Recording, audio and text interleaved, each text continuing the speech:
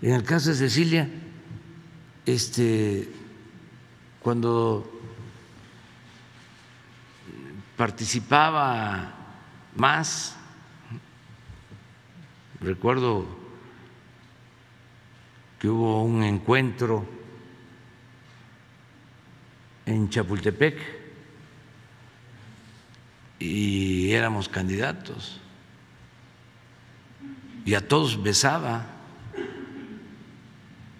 sea, como una muestra pues de, de, de hermandad, de fraternidad.